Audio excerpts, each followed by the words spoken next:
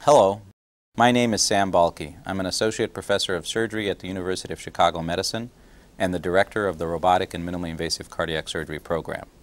Our program here at the University of Chicago Medicine is unique in that we deploy robotic heart surgery in all different kinds of cardiac conditions requiring surgical therapy. For example, we have one of the largest, if not the largest, totally endoscopic beating heart coronary revascularization programs using the Da Vinci robot in the country. We also deploy robotics in an endoscopic fashion for the repair and replacement of mitral valves and tricuspid valves, as well as having a very large series of atrial fibrillation procedures using this approach.